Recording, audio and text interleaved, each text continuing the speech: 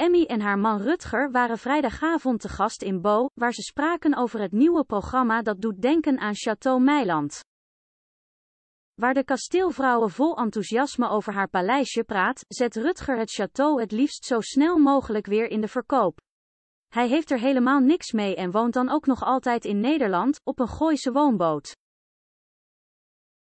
Ik lach er nu wel om, maar het was echt wel heel moeilijk, doet de ik vertrekster een boekje open, waarna ze toegeeft regelmatig eenzaam te zijn. Ik deed het alleen, dat wist ik.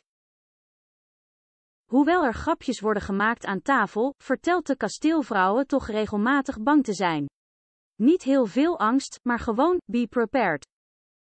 Bo kan na dit alles gehoord te hebben dan ook niet bevatten dat haar man haar daar alleen laat. Zij wilde het toch, is Rutger zijn droge antwoord als Bo het hem vraagt.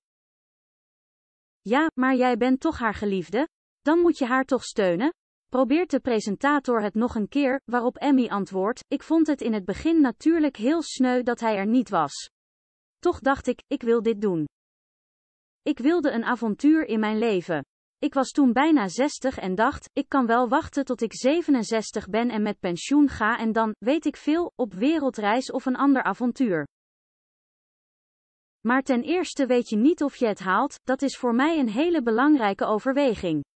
Niemand geeft je die garantie dat je 67 wordt. Daarnaast wilde ze ook niet langer meer dat harde werken en binnenzitten. Ik wil het nu, nu ik nog jong ben en fit, lacht ze.